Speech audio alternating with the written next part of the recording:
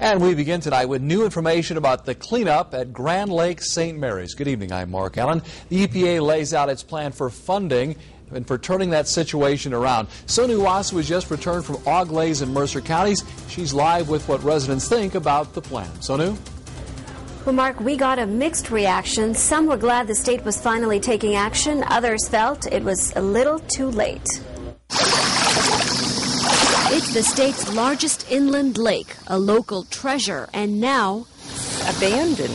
You know, people aren't using what we have. Abandoned because of signs like these, strongly advising residents to stay out of the water. Testing shows high levels of bacteria that can cause serious nerve and liver damage. Health officials say the waters are not fit for swimming, boating, or fishing. Because it's dirty and nasty and it smells bad.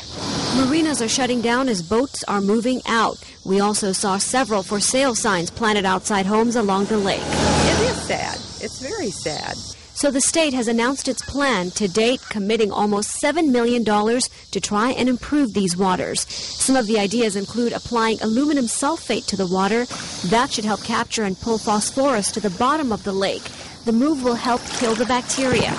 But some residents wonder if that's enough. It's not going to help, to be honest with you. Why do you Because, well, they talked about at when the governor was there, it was going to be like 500 and some million if they wanted to dredge it out, and that's really not a cure. Mm-hmm. They said they didn't have a cure for the lake.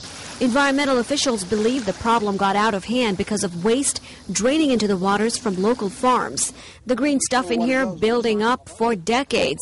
They warn it's not going to go away in a day. While some remain hopeful, I'm happy to see that they're finally doing something. Others feel this treasure is gone.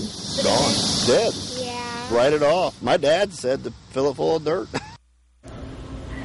The state has waived park fees in an effort to try and get tourists back to the state park, but they're still trying to warn you not to touch the water. It is very toxic. Reporting live, Sonu Wasu, 2 News on your side.